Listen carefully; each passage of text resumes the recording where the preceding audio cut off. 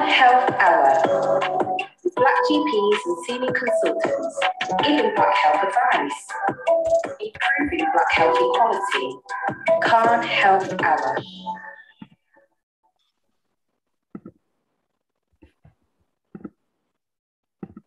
Good morning, everybody. Um, nice to see you again on Saturday morning at our welcome to our Caribbean African Health Network Health Hour. My name is Ngozi Ediosage. I'm a pediatrician and I work in Manchester. I'm also the medical lead for the Caribbean African Health Network, and I'm delighted to welcome you all this Saturday morning. We have a really special guest. His uh, name is Dr. Kwasi Appiah, and he's a GP with a special interest in dermatology. Why is it important to talk about dermatology? Well, I think we get a really bad deal as Black people. Very often, you go to your GP with um, a diagnosis or a skin condition, and they're not really good at spotting um, what is specific to Black skin. You know, I've had that problem myself. A year ago, I developed a rash on my face, and as a, as a woman, uh, Black women, we take a, a special interest in our appearance. I went off to the GP and I was told it was a fungal infection. And for six months, I was either putting on a fungal cream. I got to the point where I was taking antifungal medication. And in the end, I decided to go and see someone privately. And I got a biopsy done, and it was eczema. So, you know, this is a, a genuine something that happened to me to tell you that it's really difficult sometimes to diagnose common problems in black skin. So, Dr. Kwasi, and I wish I'd, I'd, listened to a talk like this before I had my six months of medication with antifungals and, and, and the whatnot. I wish I'd had Kwasi on the call. But today he's going to enlighten us on challenges in black skin conditions, um, common things and perhaps what they look like, and what to do if you're in my position. So thank you very much, Kwasi, and I'm delighted to welcome you. Thank you very much, Dr. Ngozi. So I'm going to try and share my screen now. And uh, share. Okay, can you all hear see that? I can see it and I can hear it. Okay, brilliant. Okay, so so my name is uh, Kwasi Appiah. I am a I'm a GP with special interest, as Dr. Ngozi said, um, and uh, I work in East and North Herts, uh, even even North Hertfordshire as a GP, and then I do dermatology in uh, West Essex and Mid Essex. Um, part of my job, so um, I do um, more or less three days as a GP and two days in full um, dermatology clinic. Um, so recognizing black skin conditions and so the aim on to, today, as uh, Ngozi said, it's more or less of some of the challenges that we face um, uh, in, as make mostly UK medical practitioners in, in managing skin conditions in black skin. Um, the the um, other thing I also try and probably hit on a little bit on um, some of the skin conditions in pregnant women and how it looks like um, in black skin and some of its management. Um, I have a special emphasis on this because I, I had a special, specific invitation from one of your colleagues um, uh, that was trying to, uh, he's a midwife and trying to get some of the um, um, uh, women and those to come to this talk. So I'll probably spend a little bit more time on that as well, in particularly in pregnant women and some of the skin conditions. And then if we have time, I'll try and manage, go through a few skin conditions and in adults and children black skin and how to manage them. And some of our normal cultural practices, which can lead to some dermatological conditions um, and some of the di- misdiagnosis that we face um, from practitioners. Now, the skin is the largest organ in the body, um, and unfortunately, um, in medical school training, so those of you who've been um, doctors who have been trained in this country, um, I, I attended Barts in the London Medical School in 2000, and I, I remember I only spent two weeks training in dermatology let alone any training in skin condition on Afro-Caribbean skin. Um, so the skin type uh, is quite challenging for Western trained doctors. They are unfamiliar to skin type. When we say skin type four, five to six, is a phototype of black skin, of Asian skin, Afro-Caribbean mixed skin, and, and black skin. And, and, and these pre present pe pecu peculiar patterns and skin reactivity due to the skin condition. Um, and so that is quite uh, challenging. And the demographics or, or in, you know shows that 8 8.9% is non-white skin since 2001 and by now in 2011 it was about 14% i'm sure in the current um, um, census that we did last year possibly that i'm sure we'll be hitting the 20% um, um, increase by now i'm sure of that and, and unfortunately for um, clinicians doctors and nurses and even midwives um, dermatological textbooks use mainly Caucasian skin as most of most of the illustrations of signs and symptoms. And this book on the right, Mind the Gap, was uh, was co-authored by a, a medical student from um, I think his parents are Zimbabwean origin, and they have he he realized as a medical student, a black medical student, the challenges and the gap that he found in his studies, uh, in particularly getting to understand some of the skin condition in black skin. So, um, you know, it's a really good book um, and it's used in medical training. And the, the, the good thing is that medical schools have recognized this gap and this disparity in training and really are, are responding and doing something about it. Next month, I'm helping out medical school in East Anglia, Chelmsford, um, Anglia Ruskin University, and doing a similar talk like this for them as well. Um, and there is also a, a Cambridge um, GP Society who asked me to come and do something similar to, to it. So they, the, the gap has been recognized, and uh, the good news is um, training um, institutions are making changes to help um, the population. Um, this was a, a, a, an article written by one of the leading dermatologists uh, um, in Afro-Caribbean sectors in, in the country, uh, Dr. Fidi Dadzie, um, in, back in 2013. And he did a questionnaire about trainees and consultants and their, their, their kind of exposure to ethnic skin. And 22% of them had only had formal teaching on skin of color or black skin. And uh, um, 4% had ethnic dermatology skin clinics as part of their training. And, and so, and 71% of these consultants felt that dermatology should be ethnic dermatology or skin of black color or black skin should be incorporated in training. So there, there is a good response that this is happening. Why is this important? Look at the, the demographics in the UK. Is estimated by, by 2051, 21% um, there will be uh, uh, of the population will be non-white 21% of the population.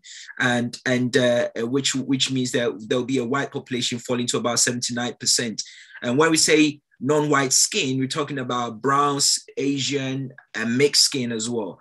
And 61% between um, 61% increase in non-white population since 2001 to 2011 and there is such a a 243% increase in mixed race population, and it's predicted that this will rise more um, um, by um, you know by by 95 to 153 percent. So this is this is quite uh, um, staggering, and it's really important. So why is this challenging uh, that um, clinicians face? Because a black skin is much more contact. It allows less transmission of UV light um, and UV radiation could be either UVA, UVB, or, or, or a visible light.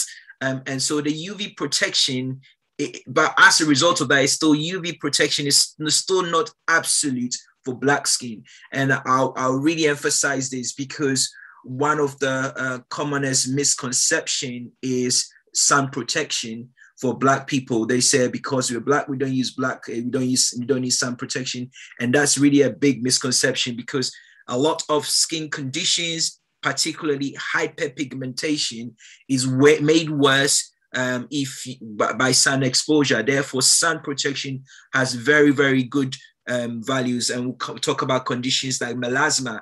Um, um, uh, sun protection is really important. So there is no absolute protection. Yes, there are low incidences of skin cancers in black skin, um, um, but it, it's still it's still important in other skin conditions. Um, I've just um, come off come off a, a conference which I'm attending uh, today to just do this talk. And I just listened to just about an hour ago to an Australian dermatologist in skin cancer um, um, practices in Australia. And I actually asked him a question that do they have any data um, for the indigenous um, um, Australian population, which is the Aborigines, which skin type 456. Uh, and I was re- surprised about the response. He said, um, in their indigenous population, particularly, yes, there are various type of indigenous population because there is there are also white indigenous Australians, but the mostly Aborigines, the black black skin ones, they will, if you tell them about um, sun protection factor, their response he gave to me is they'll think about feeding your family rather than buying sun protection factor. And, and that was a response that, that the lecturer said about an hour or so ago. Um, so it, we, we shouldn't uh, um, dismiss sun protection um, because there is, you can still get skin cancer um, in, in black skin, even though it is rare.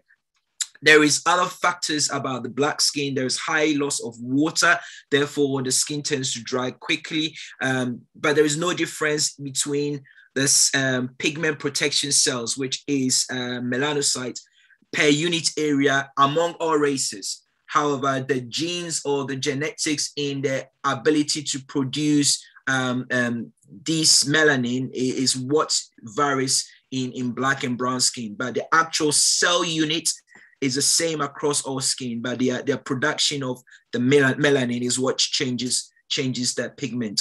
Um, black skin um, epidermis, which is the top layer of the skin, um, have more um, also have more of black uh, um, um, sun pro- pigment protection cells, and therefore, um, whereas the the in in in white skin, the pigment protection cells will be on the lower side. The other thing about something to more to do with maybe the climate, Africans tend to be much more active, have more active sweat glands um, than African Ameri- Americans, and and and and this is a study in America, and something might be more related to climate. The other issues in dermatology is about hair. Dermatology is not just skin. Dermatology deals with hair and skin and nails as well. So hair and black skin or black people are much more helical, much more spiral at the shaft and therefore there is a high increase of ingrowing hair um, in, in, black skin. And but there is, you know, but then when you come to the deeper layer of the skin, which is the fats, there is not much difference layer uh, in the layer. Uh, but the other issue is also um, there are certain um, qualities of the skin in terms of collagen for, uh, production, uh, which makes that in sun exposed skin in Caucasian subjects shows reduced extensibility indicating that they haven't got much elastic tissues. Um, so therefore, they get a lot of photo damage. So the protective thing of black skin is there is less photo aging. Um, so you can see a black woman who might be in her 70s and still have a good skin uh, skin um, um, uh, protected from photo aging. Um, so um, so the challenges with the UK practice and GPs who have not been exposed to this is they have a difficulty in appreciate redness, appreciate inf- inflammation. So the textbooks will, will describe something we call erythema. So the doctor will thinking about redness, and they have very difficulty in appreciating that on black skin. And the other thing is when there is uh, um, hyperpigmentation. So certain conditions can lead to excessive pigmentation or darkening of the skin, as a result of um, inflammation and this is much more a particular problem from for black skin. The other the converse is also true that there is also um, hypopigmentation or lightening of the skin which can be uh, in, in some important clinical clues for skins um, of, of black people. And the pattern of, of appearance of some of the skin um, and rashes on, on, the black skin can change. So some eczema in black skin will have what we call a follicular pattern uh, rather than, you know, what, you know, in the textbook, they say scales and redness, which is, which is what you see in Caucasian skin. But when you see an eczema in a, a black skin, it might be much more follicular, the round sandpaper roughness in the presentation. Um, effects of uh, itching, rubbing, scratching um, has much more uh, effect on the black skin than the no, uh, than uh, uh, black and white skin.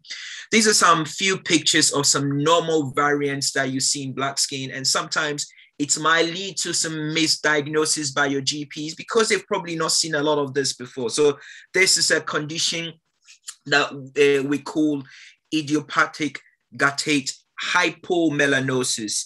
Um, and this is a, a, a, common variant. This um, and sometimes your GP will prescribe this as a fungal infection um, because you are thinking of some um, skin condition now, which we, we call um, pityriasis versicolor and that's a fungal infection but that is not this is not pityriasis versicolor this is idiopathic guttate hypomelanosis, which is normal in some pigmented skin. Sun protection is really important using um, factor, you know, you, as a black person, you don't necessarily need a factor 50 plus, even factor 30, uh, 15 is even is adequate. Um, so this helps to make um, make these um, condition less prominent. So you get all these white patches on your legs or your arms or even on your chest wall, and they are not necessarily um, the same as pityriasis versicolor. However, if if they, you know if it feels rough, if it feels itchy, if it feels um, um, um scaly uh, when you touch it, then you probably be thinking of uh, a different skin conditions, which is might be fungal, which you call pityriasis versicolor. So so yes, but it's something to recognize. The other thing is uh, the, the awareness of skin cancer is really, really important, um, um, particularly um, skin cancer eh, being rare in black skin. Skin cancer of nail or the palms or the feet can happen in black skin. However, there is a normal variant of what we call melanonychia or ethnic melanonychia, which you get the longitudinal pig, uh, pigment of the nails and which can be which is be common in, in, in, black people. So you will have usually have multiple of them um, um, or multiple nails, not one single nail. Um, and so, you know, if your GP has not seen this before, they might say, oh, I need a second opinion. I'm worried about melanoma uh, because of this. And, and there are certain things that uh, really will, you know, will, will show a dermatologist and reassure a dermatologist that this is not a melanoma, uh, but this is more of uh, melanonychia. So somebody is on. Can they be mutes, please? Thank you. Um, so that's that's uh, one thing. The other thing is this is a very common condition. Um, you see Morgan Freeman's face is DPN uh, or dermatosis papulosa nigra, which is a very very common um, benign uh, brown uh, lesions on, on, on the on the face of, of black skin, um, particularly, and uh, this is uh, um, is a variant of what we call seborrheic keratosis, which is another normal skin condition, which is common, very common in Caucasians. The older you get, you get that. Um, and these variants in black skin are much, much smaller. Uh, much more on the neck um, and uh, and the face, um, and people who get is in areas where there is friction on the neck creases as well. Um, but they are absolutely fine. They are benign. Uh, they are much more of a cosmetic nuisance. Um, you might have a challenge to getting treatment cosmetically on the NHS, um, but once the diagnosis is made clear, if you can afford it, private treatment, cosmetic surgeons or cosmetics um, uh, providers will be able to treat this with with freeze and burning them off for you with electrocautery. Just risk of developing multiple scars if you burn them off. So um, it's something to to to not get notes about. Most people have seen there on their faces. They are not dangerous and they are not skin cancers, and also they are not moles. Okay, so moles, we you know that even doctors, GPs who are not specialized in dermatology will see every skin lesion. They call it moles, and they are not moles. A moles is something arises from a melanocyte or melanocytic lesions, but not every skin lesion is a mole. Um, you see doctors use that a lot. So I'm going to spend a few uh, few minutes talking a little more about black skin and pregnancy. And uh, I think there are some changes which are more related physiologically to pregnancy itself as a result of the hormones, um, which can show some pigmented changes. So conditions like melasma. Um, I'll show you a picture of that soon. And um, linea nigra, which is the pigmentation on, on the line on a, a pre pregnancy harm. And you also some hormone-induced changes um, like uh, hyperpigmentation, so the nipple gets darker, the genitalia and the armpits get darker. These are all related to the pregnancy hormone. So the HCG, the precursor of the pregnancy hormone, is also the same precursor for for um, uh, for stimulation of your melanocytes in producing melanin. So that's why everything gets darker when you are pregnant because of the hormone. So um, so moles gets bigger, moles gets darker, and the number of moles um, might increase in pregnancy. Then there are other dermatological conditions like stretch marks. Um, you also have nail splitting or distal onycholysis. Excessive sweating can be related um, in pregnancy. Um, and also you can have hirsutism, which is um, when you have um, hair growth in a male pattern, so around the sideburns or the mustache or beard area um, in a pregnant woman. And, and that is a very important thing to look out for because it, it might be due to something called virilization or, or, of the fetus. And therefore, if you notice that uh, um, you, you, need to highlight that to your midwife or, or your consultant as a pregnant woman to have a look at it um, um, and make sure there is nothing wrong with the fetus. So yeah, it can be a normal variant, but it can it can be lead to something else sinister. And then um, unfortunately, some people might have more excessive um, hair growth. Um, which is hypertrichosis in various other parts of the body, which not, not necessarily in the in the distribution of the male pattern, but they also hair shedding or what we call telogen effluvium can be also related to, to pregnancy.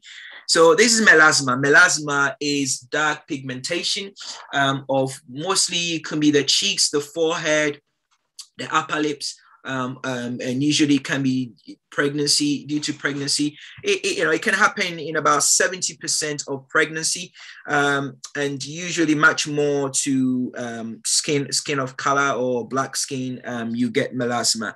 Now there are you know be careful of some treatments for it um, you know you obviously when you when you deliver the baby it, it will take time to clear because the precursor of the pigmentation is due to the hormone. Um, so if you you know if you will not bother too much when you're pregnant you can seek treatment whilst whilst after you've had the baby because um, you know some of the conditions some of the treatments can have detrimental effects on the on the on the on the fetus. So these are stuff like these. Pigmanorm probably not used that. This is on license in, in the UK. This is a, a cream um, which um, usually is used to treat melasma, um, but it's really um, what we call uh, uh, is red listed in most G most uh, CCGs across the country. I'm sure it is red listed in Manchester. Um, is a is a cream produced in Germany, um, but you know there are people that can be sourcing this um, from the black market. Um, now, I have seen the constituents of what's in Pigmanorm, which is hydroquinone, um, a steroid, and a retinoid in products sold over the counter. I've been to an Afro Caribbean shop um, in my local area in Harlow, in Essex, and I've picked up a cream called Epadem, um, and it's not. Um, so Epidem, not epidem, which is the cream, the moisturizer. Uh, and this is used as a skin bleaching cream. And so it's it's used effective treatment in melasma, but you really don't use it when you're pregnant um, because of the hydroquinone in it. So, and it's, you know, it has other problems, which I'll talk to you about when we come to the cultural practices in, in um, skin pigmentation. Um, these are the one serums from La Roche-Posay. You can buy them over in Boots. Um, and these Eucerin anti anti pigments creams uh, uh, and and lotions they are quite expensive about 27 pounds all these are not on the nhs so please don't go to your gp to ask them to prescribe for you you have to go to boots um, to get them and I, will probably say if you know it's safe if you've not had if you're you know after you've had your baby. But when you're pregnant, if it's not bothering you, please don't use these things if you're not sure. Um, you have to read the labels from the manufacturers if it's if it's um if it's saving pregnancy and I'm, I'm you know just avoid it to be honest. Um, but the these these cream these lotions are used to help um, melasma and hyperpigmentation in in general. And you know after you deliver your baby as a pregnant woman you can you can get some of these stuff and get a treatment. Probably not get Pigmanorm from your gp or dermatologist but you can try Pigmentclar and uh, eucerin and thiamidol um, from from boots. Um, other physiolog- physiological changes in the skin um, stretch marks really really difficult. I know people try things like bio oil and things like that um, to to get rid of it after the baby. And basically you know it's a, it's a matter of time. Is it's a skin elasticity from the hump from the from pregnancy um, and you get all these stretch marks on the on the tummy. And you've got the linea nigra in this woman. Again you see the linea nigra and this woman, which is the dark end of the central line across the abdominal wall from top to bottom. Um, and this is all physiological changes just because the pregnancy hormone makes pigmentation um, darker. Um, other things I talked about is uh, distal nail changes or uh, onycholysis, which is where the um, tip of the nails become as if it's opening up. Um, you need to make sure there are no other skin conditions because this can also be related to um, conditions like psoriasis as well. So um, so if there's nowhere else and it's just purely from the pregnancy it might just be physiological. And then uh, i mentioned about the pigmentations of the nails or a melanonychia which is which is a normal variant and um, you know it can happen with pregnancy as well. I talked about um, hair loss um, or hair shedding, um, telogen effluvium. Um, people get that with pregnancy. You notice when you comb your hair, the comb is, is full of hair in it. Sometimes you, you just having a shower and you can see your hair is breaking, and and and it can be a, a sign of uh, you know a normal variance happening in pregnancy. It can also be a, a, a a sign for other things like iron deficiency, um, thyroid problems can also be giving you telogen effluvium, um, deficiency in certain things like zinc, um, vitamin D deficiency as well can also be leading to telogen effluvium. So um, just, you know, if, if it's persistent, get your doctor to do some blood tests to check what's going on uh, maybe nothing else. If it's during pregnancy, uh, mostly um, when you when you um, deliver the baby, they will come back to normal. It takes a while. It's just uh, just takes a few um, you know a few months um, to for it to recover um, um, when when you're pregnancy. Now, now this is the hirsutism. This is where you have abnormal hair in male pattern around the beard and the mustache area, and and again, if it's related to pregnancy. make sure that there is there's no other problems with the fetus um, it can be related to um, uh, some what we call virilization of the fetus, um, where there is a masculinization of some part of the fetus um, and a female fetus. So, so just just that bear that in mind, um, and then get um, your consultant or midwife to make sure everything is fine for pregnancy.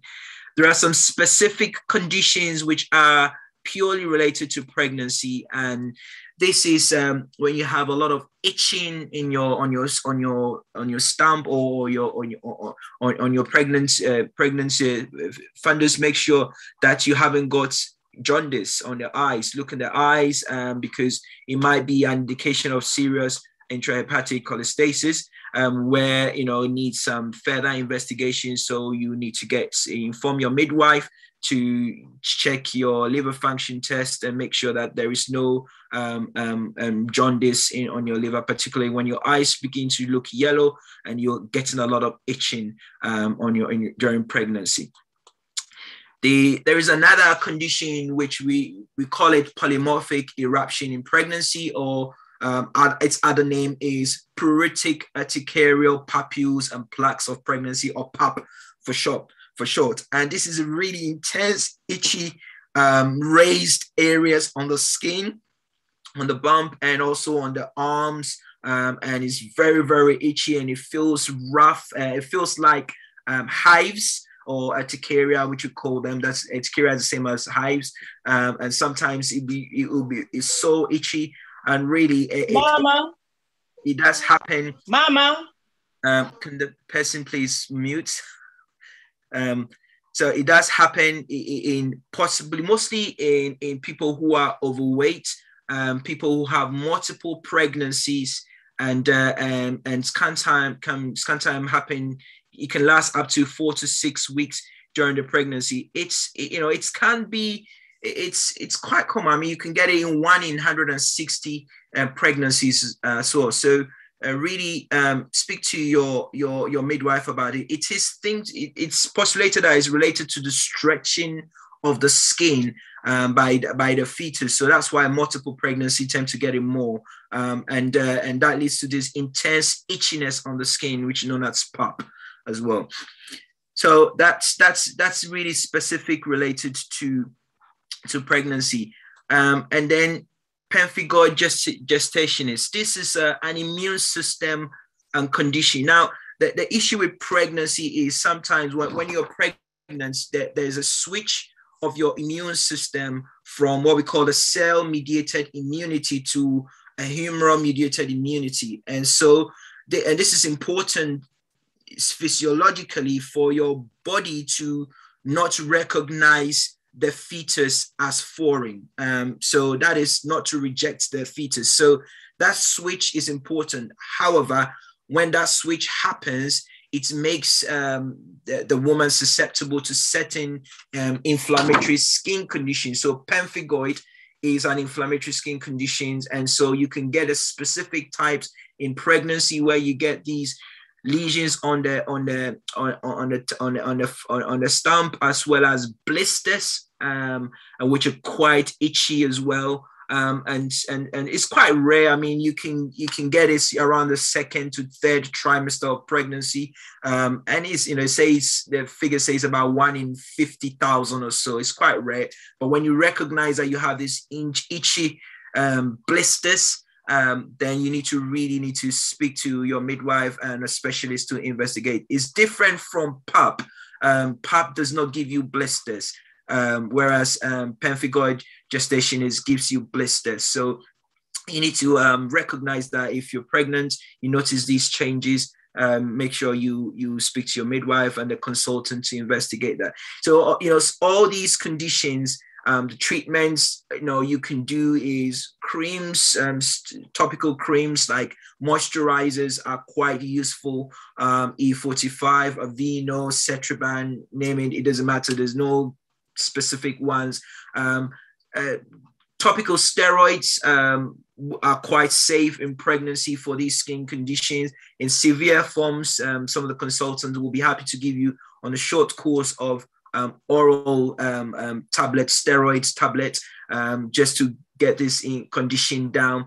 Um, when you deliver the baby, there are much more wider variation of immunosuppressant uh, treatments after this because after delivery, you know, most of these pregnancy related conditions, delivery is the answer. Um, uh, but after delivery, it might take a couple of months to clear. So there are much more options during um, after that time which will not affect the baby. And maybe there'll be some challenges with breastfeeding as well. But um, when you know when you get that that will be, be be able to discuss with your consultant. So there are certain conditions skin conditions which worsen during pregnancy. So acne in the early pregnancy can get worse. Um, eczema or atopic dermatitis will get worse. Psoriasis can get worse. Melasma as, as i said can get worse Sometimes you get, get these uh, eczema around the face, uh, which is called periorificial dermatitis, uh, around the, the lips um, area, can get worse during pregnancy. Uh, psoriasis is funny. It can be uh, because the psoriasis is also much more to do with a lot of immune system and because of the shift from the cell mediated to humoral immune system psoriasis can actually get better um, but it can get worse in some people um, and things like rosacea gets get worse skin tags like like other moles, uh, other moles as well gets a lot more during pregnancy. Um, and then um, and people with conditions like SLE or lupus um, gets gets worse during pregnancy. Hand eczema um, also or pemphigoid where you get tiny tiny blisters in the hands also can get worse um, during pregnancy things that get improved um, in the late stage of pregnancy acne gets uh, gets better. In the late stage sometimes eczema get better. Um, this condition which is uh, very high prevalent in um, Afro-Caribbean uh, population is hidradenitis suppurativa. It is uh, people who get recurrent boils in the armpits, recurrent boils in the in uh, under the breast, in the groin area, around the anal area. Um, these recurrent boils is not just boils; it's sometimes it is what we call inflammations in the apocrine uh, sweat glands, which is the high population under the armpits under the breast, um, in the groin area, and, and it's a condition called hidradenitis suppurativa. It can leave a lot of scars, it can leave a lot of um, discharges and sinuses, and has a big psychological impact on patient. Um, and uh, really, it's quite it, it, can be quite very debilitating psychologically as well as physically. So, um, luckily, it gets better in in in, in pregnancy. We don't know why. Uh, as, as I've already mentioned about um, um, psoriasis as well.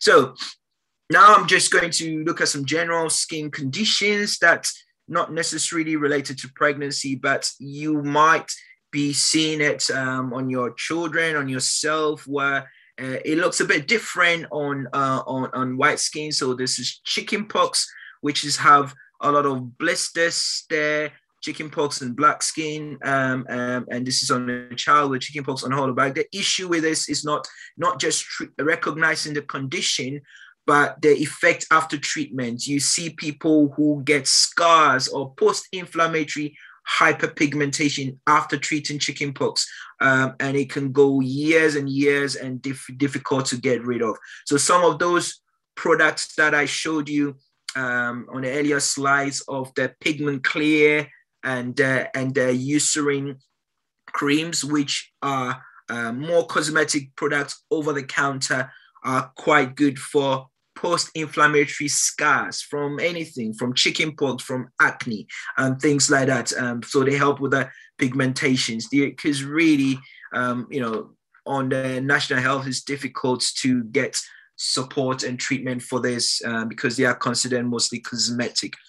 Um, eczema in black skin uh, can leave much more of a, a, leathery, what we call lichenified skin. This is a child with eczema, and you can see this a snake leather-like skin surface on on on on on on this on, on the skin. And look at the back of this child's hand, uh, and their repetitive itching makes this what we call lichenification worse um, from from from scratching and uh, really it's it's you know it's about recognizing the eczema earlier and treating it earlier. And uh, um, you know and that's just kind of the challenge you know. The problem with with um, with clinicians is when they when they even know it's eczema the approach on treatment is different. You know they will give you a mild steroid cream because of this steroid phobia of treating eczema properly initially. Um, and like in black skin, because the skin is thicker and hardened and leathery, this is what we call a follicular appearance of eczema in, in a child. And this is lichenification in, in of eczema. Uh, be, because of the leathery appearance, if you use mild eczema, uh, mild steroid creams like hydrocortisone, it's really not going to touch it. You need a potent steroid cream like Elocon or something stronger, even Dermovate for a few days. Yeah, not long, long term, but a few days to hit it hard. Then you can wean down to the weak steroids um, because obviously steroid use and black skin can also cause other things of depigmentation. But really, you need to treat the skin, and also you need to appreciate when it's infected because it's not red and inflame, which is what the textbooks teach us do for infected eczema. Inflammation is red. You're never going to see redness on, a black skin because it's not inf- that's not a sign of inflammation in black skin. So you know sometimes to recognize that is an infected eczema that needs uh, maybe an antibiotic uh, as well as the cream for the steroids. Um, it's it can you know it can lead to um, late diagnosis uh, because it's presented on a black skin. This is another skin condition um, known as keratosis pilaris. is a variant of follicular eczema. So if you can see uh, the previous eczema, this follicular eczema, um, this condition might have this particularly on the arms or upper arms of children. Um, they might have eczema, they might have no eczema. It's called chicken skin. You can feel it, it feels rough, it feels follicular. These, you know, needs regular moisturization, the, the kind of moisturizers which has um, um, uh, products like urea in it. Urea um, is a very, very good for very rough skin. Urea will be found in products that you can buy over the counter. So you know everything you need to go to the GPS. If you don't pay for prescription, is cheaper. And but you know sometimes waiting for that you can't get an appointment. If you can afford it, buy it. You know you go to Boots, you can buy urea cream. Um, there's one of them which contains 10% urea on Eucerin. Um, the 25% called Flexitol. You can actually use it for crack feet and things. It's really good for keratosis pilaris. It's used regularly. I think CeraVe does some urea containing ones with a bit of salicylic acid, the CeraVe SA. So all these stuff, you can buy them easy on the skin because the more you moisturize this, the more you're able to flatten these um, follicles or pilaris or keratosis pilaris. And it can be itchy. Yes, occasionally we get itchy. Your GP can add a bit of throw in some steroid in a much more potent steroid like Elocon, not um, hydrocortisone, which is weak and not do anything to it. So just just recognizing it, and sometimes you need to you know you need to explain to your your doctor play look I, you know this is this is what i've got um you know it might not be and if you give you weak steroids i well you know, look at my skin type is different. It might might not respond as you know with the weak steroids. Might need something stronger. This is a, a periorificial dermatitis. It's a type of eczema around the face. Um, this is the ones I told you that can get can get worse when you get pregnant. Uh, but this is much more follicular, rough, sandpaper appearance, and is a type of eczema. Um, you know, it can be due to so eczema can be caused by so many things. It can be uh, either genetic, which we call atopic, it can be allergic, which will be very clear on the history. So um, don't, you know, it's not what you eat. Um, uh, you know, when, when you have an aller- allergic reaction to something, you know straight away. Um, it might be these kind of allergies will be products, mostly um, cosmetics or, you know, something that you've used, sometimes even hair dyes or you know shampoos or something that you, you, use on your hair you can still get a reaction on the face not necessarily only directly on the hair. It, it, the allergic contact dermatitis does not necessarily be within the same area. It can be in proximity. I've, I've seen people with allergic eczema uh, on their face from the, from going to do their nails. So the the acrylics that's been used on the nails, the fumes of of the acrylics as they smell it, it, it actually causes a reaction on their face, not necessarily on the nail itself. And then you do a patch test in dermatology, and it shows that they are allergic to that. So some of these things just need to be recognized um, and then manage it properly appropriately. I mean, the, sh- the problem with the face is quite sensitive area. So things like steroids, you need to be careful about the type to use. So this is just a eczema that has been scratched a lot and it becomes lichenified and thickened and hard. Um, these are some of the creams that I've been mentioning. So things you can buy over the counter, Cetraben, Dermol, is uh, it's got antimicrobial properties in it, which is really good. A green one. It's very good for shaving beards, diprobase ointment. So when you have very dry skin or black skin, um, ointments are much more effective than creams. The issue is people don't like ointments because they feel like Vaseline and sticky on clothes, and they want to use cream. Fair enough. If you want to use a cream, it means that you need to use it more frequently. You need to take some um, in a pot, carry it at work, you know, after two or three hours when your skin is dry, moisturize it. So if you slap a, screen, a, a cream on in the morning, um, by the time you make you reach midday, it's dried up. So you need to use it frequently. Whereas ointments, even though they are much greasier, they stay on better. Um, some people prefer gels like Doublebase. Um, it's all your preferences. And these are the steroids that I've been telling you about uh, for use for, for eczema. So Elocons are quite strong steroids, um, and then comes down to um, hydrocortisone, which are weak steroids. Um, there are some steroids which has a combination of various things in it. Sometimes has a bit of antibiotic in it, like Fucidin H, which is a weak steroid, but it's got a bit of antibiotic in it. Um, so when you have an eczema on the face, which is uh, which is much more sensitive skin, so if it gets infected, they might give you something like that. But short course of topic um, very strong steroids, probably not recommended for the face. Um, Eumovate might be okay for short time for your face because it's mild, mildly potent, um, but you know for only for five days or so, not more than that. Then you've got itchy scalp where you can get some steroids like uh, Betnovate um, scalp applicator because they are watery. Is not for it's eczema of the scalp, much more for the scalp, not the hair. So it has to be watery to massage it directly deep into the hair. So this is what happens if you use a lot of strong steroids for a long time on eczema. So you can get depigmentation on the area where you where you treat with steroids for on a black skin. Um, and so that's there is a is a balance we, we really about treating it how long um, and when you notice that there is the skin is fading um, really make sure you withdraw from the steroid so it can it can be a problem as well. So they are all having they haven't got they are not without problems with steroids ringworm ringworm in children in black skin uh, is quite common particularly in the scalp. Now, if you have ringworm in, in, in your child, an Afro-Caribbean child um, like this, um, really, to be honest, you need to, you know, be insistent that topical creams and uh, things like that don't really, really, really work well on the scalp. Um, you really need to um, be on some oral treatment, what we call terbinafine tablet. Um, yes, on the skin, on the face, you might be able to do it with some and Canesten cream. But when you start getting into the scalp um, and deeply and it's spreading, um, it, it's you know you need to hit it from inside out. And when you're treating the child, you need to treat the siblings. Um, one about sharing combs, towels, and things like that. Yes, other siblings you can give them the shampoos like Nizoral shampoo to to if they have any signs of mild fungal infection. But if you get areas like this, the risk is it can develop this thing called kerion.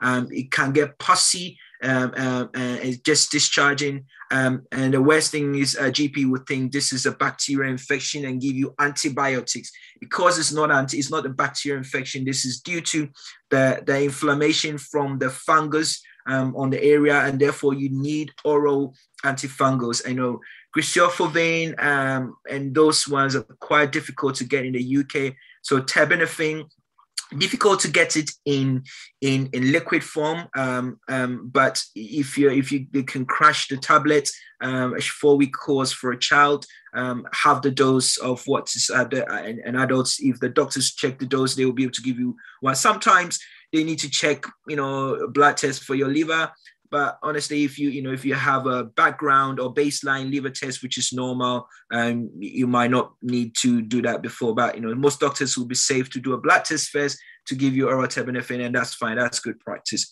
Um, but yeah, it, it's it won't work with creams. Um, the, the the key is they're resistant to creams. It needs tablet. Um, so this is pityriasis versicolor. If you remember the first picture I showed you of of uh, um, idiopathic guttate hypomelanosis, which is this the, that rash which is common. Um, sometimes is misdiagnosed as this, as pityriasis versicolor, which is a fungal infection, which um, um, sometimes require uh, require topical um, um, antifungal showers or shampoos um, um, like Nizoral, which can work as well. So um, if it persists, sometimes oral tablets can be can be given by the doctors acne. Um, so the issue with black skin and acne is mostly the acne has to be treated the same way, um, but is a risk of hyperpigmentation, and this is a post-inflammatory hyperpigmentation from black skin. So if people avoid squeezing them, um, black is because the more you squeeze them, the more you you cause scarring and inflammation. The other issue is in moderate um, XM acne, um, GPs should have a very, very low threshold of referring um, patients to have oral treatment or oral retinoids. Um, obviously, you have to cancel women about childbearing age, about um, contraception, because oral retinoids cannot be given unless you're on some contraception to cover you because it will kill a baby if you fall pre- pregnant with that. And topical retinoids are also you know, they mentioned caution or actually contraindicated in pregnancy as well. So acne can be of various forms. It can be either from from inside endogenous ones, so it will be um, come related to like things like polycystic ovaries, um, and then there are some things that can cause acne. So cosmetic products, particularly pomade, you know, when you you plait your your hair and you use you grease it with the pomade, um, and when you wash your hair, the the hot, hot water causes the pomade to drift into the forehead, and you can see acne form on the forehead, and that's a pomade acne. Um, that is particularly common in black skin. Also, steroid and skin lightening agents um, can also lead to acne, and and also um, people who do setting you know setting jobs and setting medications, stress um, can cause acne. Um, UV lights can be protective. Some people mention that when you go on holiday, when you tra- travel back home to Africa or somewhere, you you notice that your acne get better. Um, diet is a bit controversial, but they say that low glycemic diets can be protective for acne. So I did mention about a post-inflammatory hyperpigmentation. Therefore, you should have a low threshold for referral for for um, uh, for oral retinoids or Roaccutane um, in the hospital. So some skin skin um, dermatology in the communities provide that. It's very rare in the UK, in, in, in, the UK, but mostly this is a secondary care. That's where you, you need oral retinoid. So um, have a low threshold, seeking your doctors to, to refer you um, if you're getting scarring, particularly in your acne. Um, otherwise, um, it, it will become difficult to manage. So I, I did mention about the protect sun protection is really, really important. So sun protection um, with factor 30 plus. Uh, Hi, Kwasi, you seem to have been muted. We can't hear you anymore. Sorry. Thank you. Yep. That's fine. Yeah, sorry. I don't know what happened. No, that's fine. Yeah. Just to say, uh, there are lots of questions in the chat. okay. So it would be great um, if we, we have an opportunity to, to address some of them.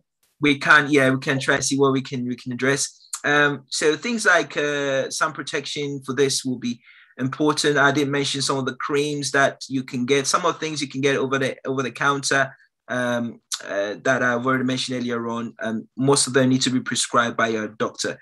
Chemical peels, um, CO2 laser, intense pulse therapy, these are all cosmetic stuff and you get it really difficult to get um, approval on NHS for these things. Um, but yeah, if you can afford it, they are there. Um, can do that. I did mention this product over the counter for for for that. Now, finally, I'm going to quickly rush through some of our cultural practices which affect our skin. Um, skin lightening. I did mention this is the Epiderm cream that I saw in the in in the Afro shop. Um, and if you really read the ingredients, it contains um, hydroquinone, retinoid, and a steroid. Um, and it will beautifully lighten your skin, but it will cause post-inflammatory hyperpigmentation. It can cause um, acne, um, and all the side effects are related to, to steroids as well. So just be careful. They're all the Karo products. If you read them, they've all got steroids in them and you know so you just need to be careful about these things um, in, in, our cultural practices. So these are pictures people with bleached skin and you can see their acne um, will be on their faces and it's very very obvious um, there and it's really difficult to to manage that. Um, there are condition called exogenous ochronosis which is a bluish purplish pigmentation which comes from the use of these skin lightening agents. And, and this is very visible in this woman's cheek um, from repetitive use of products like Epiderm for skin lightening. This is an Asian woman. You can see that more. It gives you this slate skin. And the issue with this, this can be permanent and really it's difficult to get rid of this pigmentation if you continue to use that, that those products. I talked about pomade acne. Um, this is what happens when you use a lot of pomade for, you know, greasing the hair. Uh, it can leave you a form of acne. It can still be managed like normal acne. And obviously, avoiding this, um, um, those pomades can help, um, and but it can still be treated like normal acne. Um, hairstyle traction alopecia, um, either from braiding or wigs or extensions. Um, you get a lot of uh, fringe sign on the hair on the frontal side um, but you really can get all these loss of hair. The hair begins to break around around the, the fringes. Um, and then you can get all patches there. You can see this is all traction alopecia. Um, it's reversible um, if if the the braiding uh, style is stopped, um, but sometimes it can be challenging to manage. Is sometimes uh, the doctors might need to prescribe you some much more potent steroid. The scalp has a, a better resistance to stronger steroids uh, compared to the rest of the body. Um, so it's really like a, um, uh, it's really important to uh, you know to make sure that you know you get you get checked by a doctor um, if you know if this thing becoming a problem from your hairstyles. Um, pseudofolliculitis is uh, razor bumps, very very common in our men from uh, from shaving or razor bumps, um, and really using some of the product that I showed you, the creams with antiseptic wash in there um, during shaving can can help.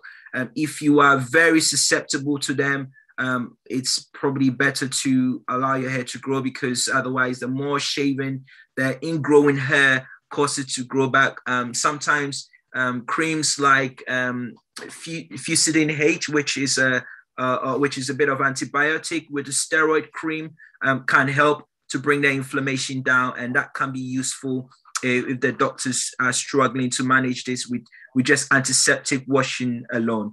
Um, but yeah, that's quite common. Unfortunately, in severe form, it can lead to very scarring, and that scarring um, can cause a lot of problems, like what we call this is uh, acne, nic- um, um, uh, which is kind of very, very difficult to treat. When it reaches here, you really, really live into scarring. Um, it needs injections and very potent steroids, and sometimes um, you need specialist treatment with laser treatment and, and um, plastic surgeons to treat this. It's, it's quite challenging to treat that. There's no creams or, or, or tablets which will work with it. Uh, re- retinoids, oral retinoids, or Roaccutane, like you use in severe acne, can be very helpful if it is recognized early and referred to the hospital to treatment. So these are some of the things that you can use to to wash the face to help the shaving practices um, so that you can decrease the de- developing razor bumps. So all these can be bought over the counter.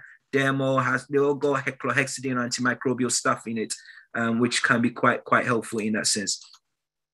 So um, in women, there are some other very rare conditions, which um, what we call folliculitis decalvans. It needs a lot of scarring, um, similar to the acne one in, in men.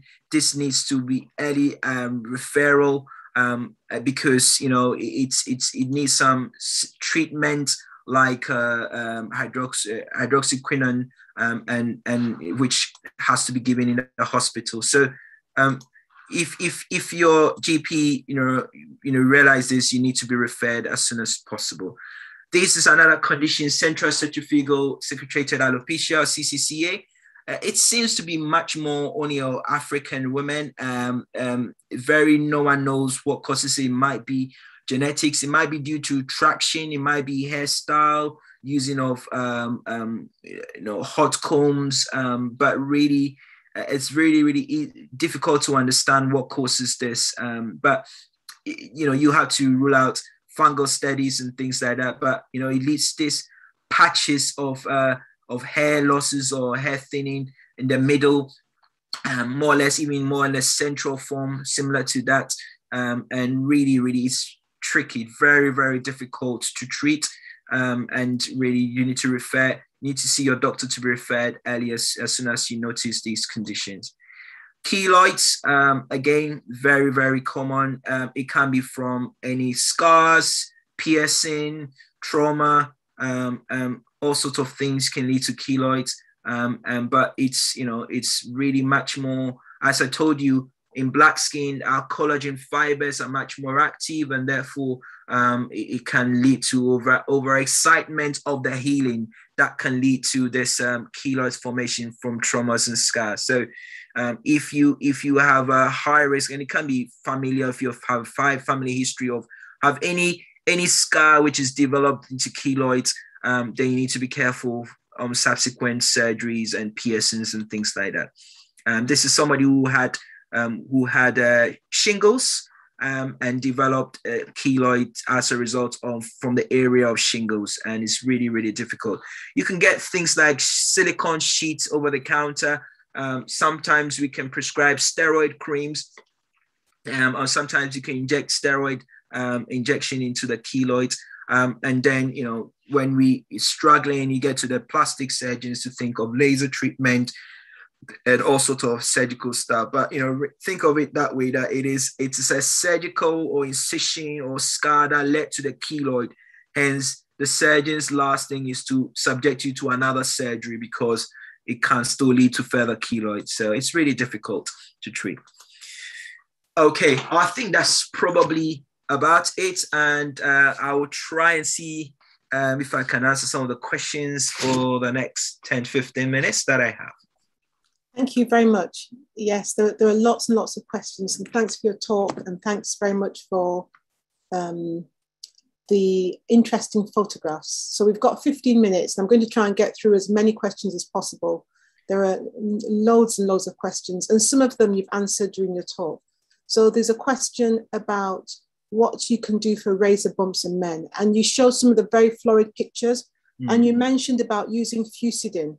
Is that available over the counter? No, you can't get Fucidin over the counter. No, um, I, I, think you, you need a prescription for that. Some pharmacists are happy to prescribe them with Fucidin H, even Fucibet, because a different Fucidin H is Fucidin has uh, Fucidin H has got hydrocortisone in it. Fucibet has got uh, Betnovate. The issue is Betnovate is a potent steroid, and so we try advise not using it on the face. Um, on the scalp will be okay because the, the skin of the scalp is a little bit tougher.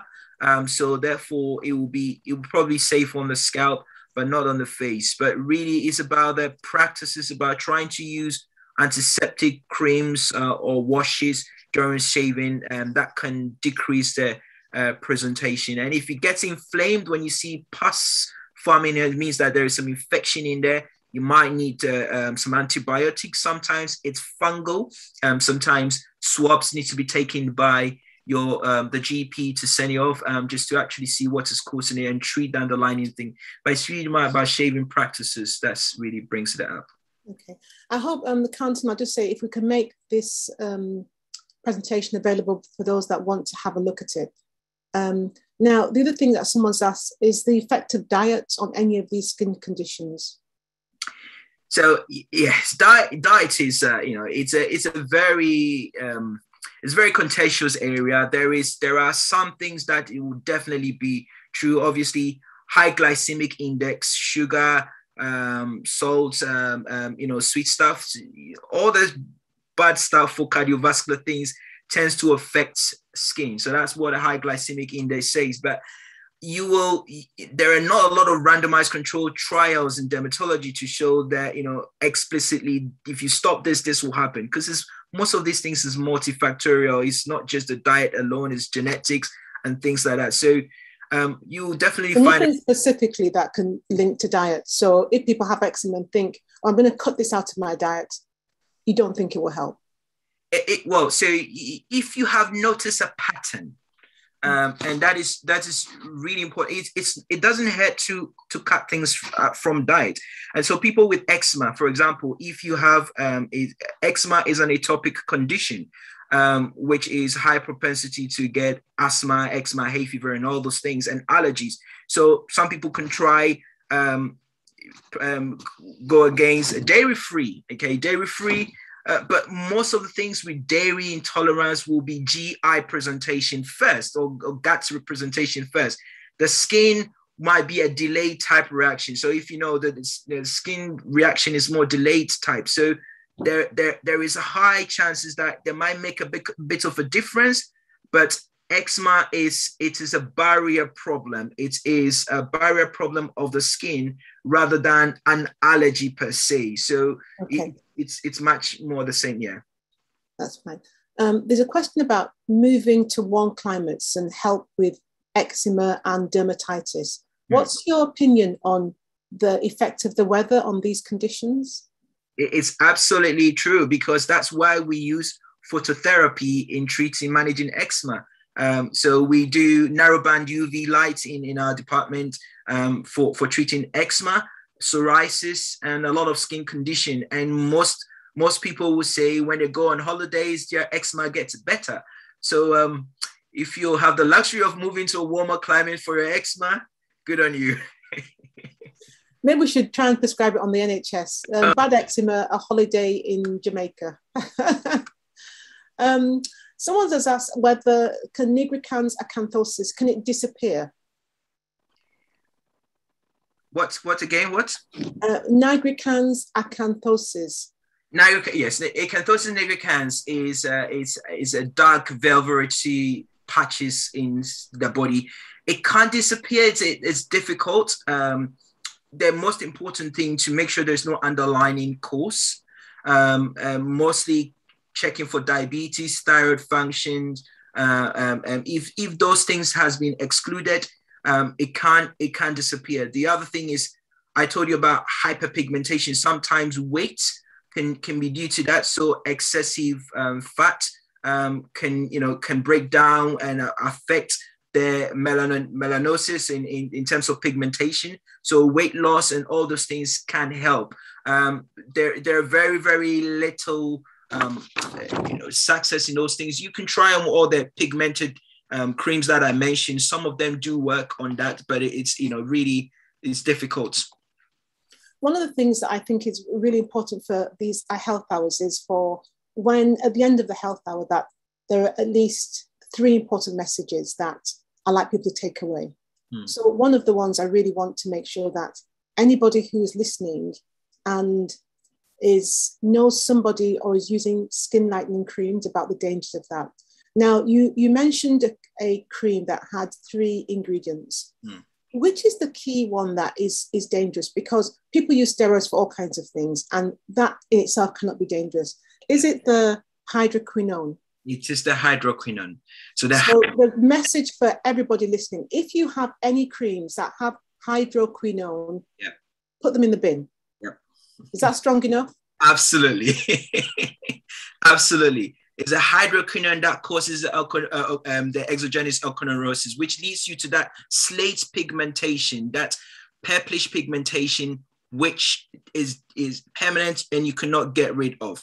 Um, there has been even in America, there's been just before you go on. Sorry, you, you described something, but for somebody who has a friend mm. who's listening to this, what you describe that you can see on the skin is not what they're going to tell their friend. They will they'll just say a black coloration. So I suppose that terminology is fine for other medics, mm-hmm. but what I really want to get home is for anybody who notices those kind of patches on yeah. a friend's face and suspects that they are using these creams. Apart from the black patch, because you're, I think people use it to try and get lighter, but if you're going to leave a black patch, that's it's counterproductive. Yeah. What else is there? Is there anything else that is dangerous to use? There, it's also there's that's the that's the next thing I was going to say. There there are there are studies in America that it can cause cancer. Um, and uh, so the FDA in America has actually banned it in, in, in I think in, in, some places in America. So so yes, there is a carcinogenic um, effect in it as well. So number one, you want to be light, it's going to make you darker. Number two, it can cause cancer. So please, please, please, anything with hydroquinone. Are there any things that hydroquinone is useful for? Why, why is it manufactured?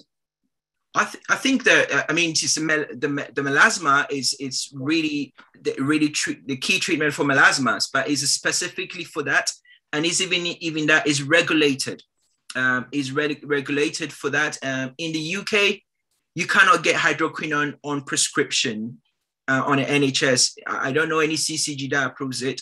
Um, consultants do prescribe it for melasma um, and some severe hyperpigmentation. Um, but really, it's all private prescription. They source it out from Germany and stuff like that. So there, there is no condition really. If we can't get it on the NHS, there is no condition that you actually need hydroquinone for them. Yeah. Um, and this is a personal feeling about the melasma of pregnancy. I always feel that it's, you know, you're pregnant. It's one of the effects of, it's like saying, well, I don't want to be fat, but, uh, you know, but I still want to have the baby. Yeah. It's one of those conditions that just come with being pregnant. Yeah. And that's the way I would approach it and ask people to approach it. Yeah, absolutely. Okay, we've got seven minutes. Now, there's a question here that says, why are some medications freely available in other countries but difficult to get in the UK? And I don't know whether they're specifically asking about the epiderm. Maybe they've tried to get medications and skin products here, but in some other countries it's available and it's not available here. Do, do you know of? I, I don't know what they're, what they're specifically referring to. Specific? Yeah, I think it's. I think every medication has to be MHRA approved, and uh, um, and if it meets the standard, it's it's yes. But um, yeah, it, it, it has to be ethically approved, and, and it depends on individual countries and what what governs their decision on that. Okay. Um, the other thing I was going to ask is that someone's asked about protopic. Yeah. I'm medic, but I'm dermatology is not my area of uh, specialization, so I'm struggling with some of these. Could you recommend a protopic for eczema? So I gather this is either a medic or somebody who has been trying to treat their eczema and now knows everything about it more than me. Protopic uh, is a is a calcineurin inhibitor, which is an what we call an immune modulator so it's not a steroid. So the advantage of Protopic is uh, it doesn't thin the skin like steroids, and and it can be used longer um, than steroids. So it's not very effective for severe eczema, but for moderate eczema and uh, for maintenance of, of, um, of eczema, it is safe because it doesn't thin the skin.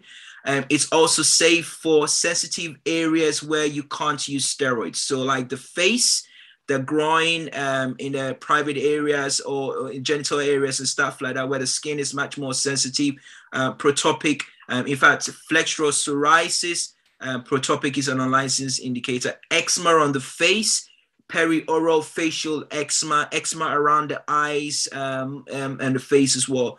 It's, it's safe to use protopic um, uh, in as a first line. So the is protopic is one or one of them. The other one is Elidel. So it's um, tacrolimus and pimecrolimus. Those are the two. Yeah, it's the same okay. class of drugs. So, hydro. The thing about lightning creams is one take-home message. The second thing I think is important is sun creams. Yeah. Now we hear lots of different um, advice about sun creams and black people. And yeah. I know lots of my friends will say, well, you know, when I was in the West Indies, when I was in Nigeria, I didn't use sun cream. Why do I have to use sun cream here? Yeah. Should Black people use sun cream? And if we have to, well, if we should, What's the recommended um, factor level that you'd recommend for children and adults? So, so because the lucky, the, you know, our lucky of having the pigmentation means we have some protection. So you don't need a factor 50 sun cream. Factor 30 at least is, is, is okay because of the sun, the, di- the direct lights, UVA, UVB, um, can cause hyperpigmentation. So a lot of the hyperpigmentation conditions, melasma, post-inflammatory hyperpigmentation, etc., from eczema, from other inflammatory conditions, gets worse with direct light. So sun protection in that sense is relevant to that so if you if you're worried about the scars from your acne and other things as well so sun protection is important so you might not get skin cancer from sun from you know from from your from from using sun protection because you you're very low risk. And in fact the, the skin cancer that we get in in in uh, black and asians is mostly the acral skin cancer of the nails and the palms of the feet which you really are not it's not exposed to your sun. So that's those those are not the protection that you want. The protection you want is mainly for hyperpigmentation and post-inflammatory hyperpigmentation as well because the burning and the damage and things like that cannot can make it worse so in that relation to that specific question about should be using sun cream or not, so if somebody wants to go on holidays to Spain, they're black, should they pack factor 30 in their suitcase? Factor 30, I'll say though, yes. Okay, so second take home message, use skin um, sun, sun cream, but you don't have to have factor 50. Yeah. Okay. Um, and then the, we've got a couple of minutes left. I will someone's put a question here, which I think is important to address. They've said, if we are not going to use creams with hydroquinone, what are we going to replace them with? I think the, the answer is, do, do we need to replace them? These are skin lightening creams. They only have one purpose, to make your skin lighter. Do, do we need to replace those creams? I suppose this is my personal reflection on this, and I suppose people have a different take on it. And maybe Dr. Kwasi can come back and we can talk about the whole thing about skin lightening and, and, whether it's necessary or not. Yeah. Um, but I don't think that we need to replace it with anything. Absolutely. I agree with that you. That would be my response. Sorry. Um, I think the last question I'm going to address, we, we try in these sessions to give very broad advice. Um, the questions are really helpful because what I find is that when people put questions in the chat, that there are lots of other people that have exactly the same questions. And we also have viewers on YouTube and Facebook that aren't able to put questions. And so these questions are helpful. So we've got a question from someone who says, what is the cause of excessive hair growth on arms, legs, armpit, face in a young black woman who isn't pregnant? The GP has said it's normal and has ruled out polycystic ovarian syndrome and has checked that all hormones in the right range are in the right range. So this will be your last question because we've got a minute to go. Yeah. Um, but go ahead. So, so, so if ex- excessive hair growth, which is hypertrichosis, which is not hirsutism, so for us is not in male distribution areas around the mustache and stuff like that, then um, I think it, sometimes it can be idiopathic. This is one thing. Sometimes it can be genetic. Some people's genetically might be might be something to do with their you know their past. Some sometimes might be the issue. Um, I think the distribution is very important. And if it's an area which is pattern of a male um, growth, and even uh, uh, uh and, and GP feels that there is all the blood tests are fine, it's important to maybe refer to an endocrinologist to make sure there is you know there is nothing weird and wonderful that is being missed. And that that is the only thing I'll say because the, the pattern is really key. If it's as, if it's not just hair everywhere, but if it's a like beard and mustache area and is a pure true hirsutism, then there has to be at least reassured from uh, an endocrinologist investigation make sure that there is nothing being missing because you can get all these um, hormone producing tumors and things like that, which is very, you know, can can very misleading too. Very rare, but very good rare. to be up. Thank you so much for this session. I, I, I've really enjoyed it. We've had lots of questions to, to show that it's something that people re- really want to know about. And I'm hoping that what we can do next time is invite you back for just a question and answer session because I don't think we did the, the questions justice today because we didn't have enough time. But thank you all the same. Thank you very um, much. Thank you. I'm going to hand over to the uh, Caribbean African Health Network team in, in a minute.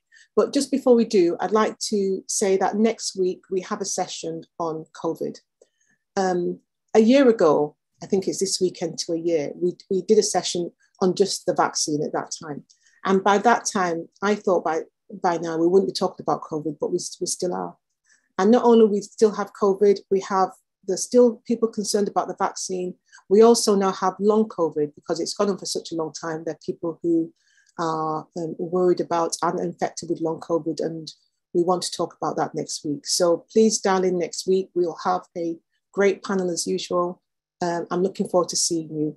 But I will hand over for some really important information about our sessions to the, the team. Thank you. Thank you so much for that, Dr. Ngozi, and lovely seeing everyone this morning on CAHN's Health Hour. Thank you so much again, Dr. Ngozi, and thank you so much, Dr. Kwasi, for joining us this morning as we talk about, uh, you know, recognizing the different Black skin conditions. Thank you so much for those as well on, on Zoom, on YouTube, Facebook, um, time after time, every week. It's lovely to see new faces. Um, you know, for those that are new to us today, um, this is CAHN's Health Hour. We've been having our health hour sessions since May 2020. Every week, we have different medical professionals come in, take out of their own Saturday afternoon, really, and talk about different health related topics that are affecting us as the Black community. Um, as Dr. Ngozi rightfully said, COVID is still very much around, and we want to still educate our community around this topic. Um, if people have any questions, you know, definitely feed those in at help at CAHN org.uk so definitely tune in next week. There's so much in store for you. Um, you can send your questions ahead of time like dr ngozi said and we can you know answer those questions and give that to our um, medical professional that will be tuning in next week. Um, like dr ngozi rightfully said if you want to watch this session back you can always go back to our CAHN youtube channel or facebook channel to watch this session again and you can also share it to your family friends colleagues um, to benefit um, from you know what we've just learned today really. Um, so that would be great. Some of our upcoming events that you can also expect we have our CAHN Healthy Hearts which is every Tuesday evening from 5:30 to 7:30 here on Zoom uh, we are having our tailored support sessions. That's where we have some of our nutritionists that would you know focus more on our diet. Um, and like you know Dr. Kwasi rightfully said you know looking after ourselves is very important um, so we have those tailored health, um, um, tailored support sessions um, from 5.30 till 7. And then from 7 till 7.30, we follow on with some physical activity um, with our physical instructor, Orlando. So you can definitely tune into that. And if you'd love to be a part of that, there's still time to sign up. Um, that's events at cahn.org.uk. So definitely feel free to give us an email and we'll share those details over to yourselves. And don't forget again, Health Hour is back again next week. You can register in advance. And again, it's the same details. Um, but for those that want to join on on Zoom, um, just feel free to email us again at health at cahn.org.uk. Thank you for that. Um, just again, throughout the week, if you have any concerns, any issues, you know, just want to talk to someone, our helpline is always available and you can feel free to contact us on our helpline here at CAHN. Um, and you can also contact us on our emails as well. And, um, you know, a member of our team will always be there you know just to support and um, just you know help you in one way or another. Um, so definitely tune into that. We've posted uh, we we like we dr ngozi rightly so we want to hear from you the community. We've done different topics every week time after time and now we want to hear from you. What topic would you say you want to hear? You, you know you really want to hear um, you, you have questions around and you want to hear from one of our medical professionals. You know we've just posted our survey links for those tuned in on facebook and youtube and for those on zoom as well feel free to complete that it's just feedback we want to hear from you um, you know and you know definitely hear your feedback and see how we can implement those changes going forward. What topic do you want to know um, more about? Um, do you want to hear from us on? Feel free to email us, feel free to contact us, and we can see how we can, you know, implement that going forward this year. Some of our other events as well, you know, that you can definitely, um, you know, keep in your diary. We have our International Women's Day event coming up, and that's on the 8th of March. So please do put that in your calendar. Um, and we look forward to seeing some of you at some of these events as well. Um, so yeah, we look forward to seeing you all. Um, please, please, please, we're here to support. We're here for the community. And uh, we hope you have a lovely remainder of the week, um, weekend. And we look forward to seeing you at some of our events. Have a lovely day.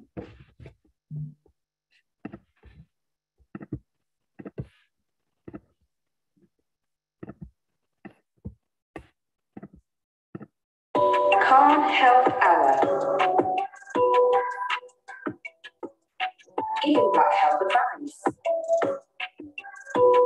Get informed today to have a better, healthy tomorrow.